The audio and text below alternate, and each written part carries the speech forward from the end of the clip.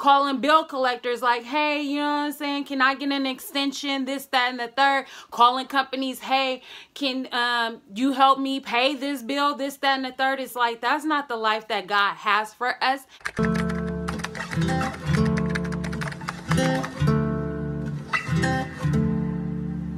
I'm about to go in beast mode. No need to worry, I did this before. Been going hard since the day I was born. Ain't no stopping me, I'ma keep going. Hey guys, and welcome back to the channel. If you are new here, please do not forget to hit the subscribe button and also turn on the notification bell, which is on the side of the subscribe button. And last but not least, make sure that you leave a comment in the comment section down below because you guys already know that I love chatting with you guys. So without further ado, you guys, let's get into the video.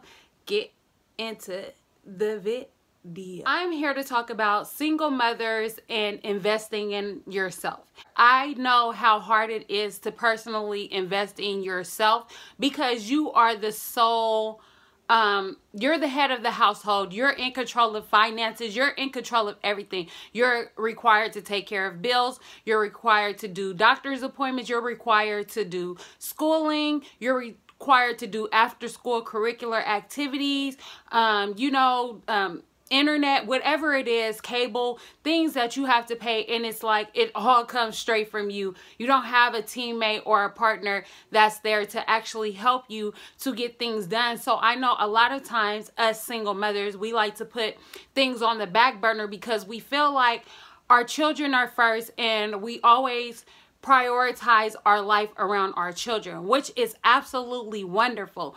But what would be even more wonderful is if you set your children up for a brighter future and not only that you set yourself up for a brighter future because how many of us is just super tired of working these 9 to 5 jobs barely or you getting like 3 hours a day, you're getting, your hours are being cut, all this other stuff, or you're just working so hard to get nothing very much back in return and you're trying to pay your bills and you're living paycheck to paycheck, which I have a money saving budgeting for single mothers video i'll put it in the iCard so you guys can go and look at that video to figure out how do you save money if you're on low income or you're on a fixed income and you're a single mom and you're really trying to make things happen. You know my story is where I start is not where I'm going to finish. But it's all about the work that you put in. It's all about your determination. It's all about your discipline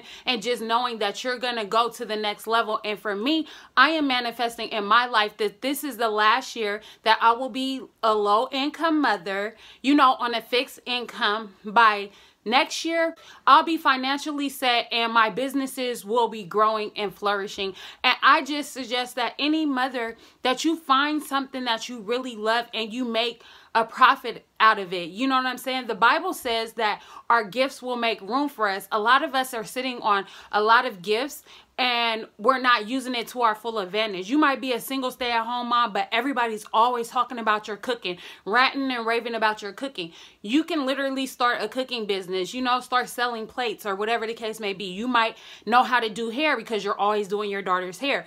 You can literally start ha a hair business and go from there. You know what I'm saying? It's all in. You have to use whatever it is that drives you, whatever gives you a passion. Use that so that it can help you to make money money. I am a firm believer. The Bible says that you should have seven streams of income. I feel like you really should because you never know. Something might happen just like this pandemic happened. A lot of people ended up losing their jobs and you want something to fall back on. You don't want to constantly just be relying on one consistent income and it's barely getting you by and then you're like trying to make it out to see like how am I going to take care of this? How am I going to take care of that? I have this bill that bill the next bill car notes car insurance all this stuff that you have to pay. There's no way that you can literally um in this time in this day and age just working a nine to five just isn't gonna cut it especially if you're living in california. Everybody knows that california is like super super expensive you know and just even where you are wherever you live things have gotten really expensive um And so I just feel like as a mother, it is so important for us to um, set ourselves up for a better future. We don't have to live like this. And I just got frustrated with living like this. You know what I'm saying? Paycheck to paycheck and, you know, barely making ends meet or trying to put stuff together at the end of the month or, you know, like calling bill collectors like, hey, you know what I'm saying? Can I get an extension? This, that, and the third. Calling companies, hey, can um, you help me pay this bill? This, that, and the third. It's like, that's not the life that God has for us. And I feel like um, he wants us to be I feel like he wants us to be prosperous. That's what his word says. He wants us to prosper. Um, it's all in what you do with the finances, actually, which will help you to prosper. So I just say, you know, as a single mother, you have to invest in yourself because investing in yourself is really investing in your children. A lot of times we spend money on these new gadgets, shoes, clothes, this, that, and the third. And it's just like, I feel like if you were really to dial down and um put what what's really look at what's important and what's not. Like are these jordans important? Like is this new iphone for my child that is only 10 years old? Is that important? Like you have to figure out what is important. And i'm not saying not to get your kids nice things um but i feel like if you're barely making it like why would you you know be putting your money towards those things? You know those things will come eventually. Once you get your business off the ground and your business is making money you will be able to buy your kids certain things. But i really honestly feel like in this generation like kids are so stuck on materialistic things and stuff like that. So i don't i really don't think it's like super mandatory or important. It's okay to get your kids nice things every once in a while, but like literally I've seen so many mothers trying to outdo the next mother, trying to outdo birthday parties, trying to outdo this, that, and the third.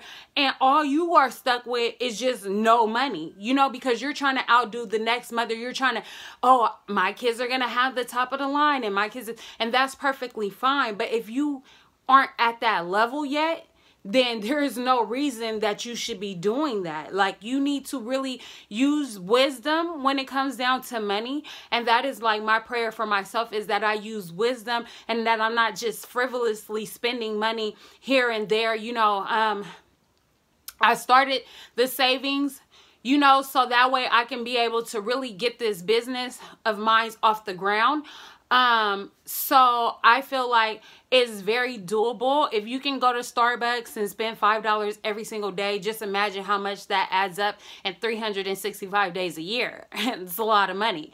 You know, if you can, you know, spend money on Nikes and Jordans and iPhones and this and that is just like, I seen this quote and it said, if you can afford to have a 7.99 phone, then you can afford to start a business that's one 199 like there's no way that your phone you got a 700 800 900 a thousand dollar phone but then you aren't even like you know doing anything. So i just feel like as us being single mothers we have to go 10 times harder because we don't have anybody to help us. And I understand a lot of us don't have like childcare and things like that. That's even all the more of the reason because I don't have childcare, but I am determined to um, create wealth um, for my family, for God's kingdom, just for, you know, others to be able to help other single mothers eventually.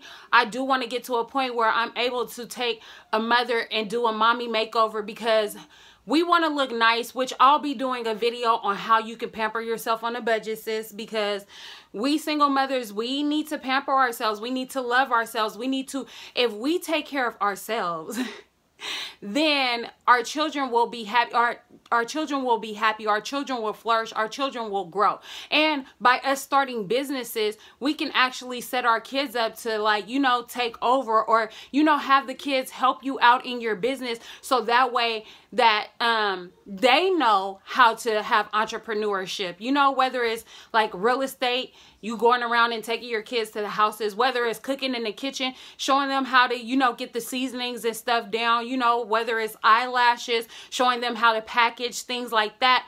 Whatever it is that you are um, passionate about, I feel like that you can make money from because like I said, your gifts will make room for you, but it's all up to you and what you want to do. You have to just be determined to not live that lifestyle anymore. You have to be determined to not be paycheck to paycheck, being a paycheck to paycheck mom. We already have a stigma on us for us being single mothers, even, you know, to begin with in the first place.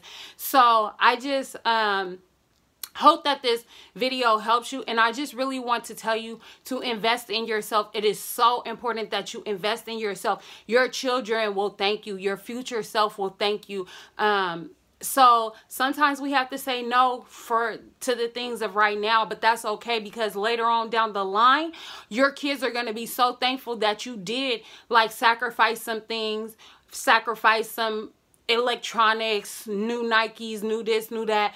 You know what I'm saying? In order for them to have a better life and for you to have a better life. Um, so I thank you guys for watching this video. Please do not forget to comment, like, share, and subscribe for more videos and chat with me down below. Until next time, peace.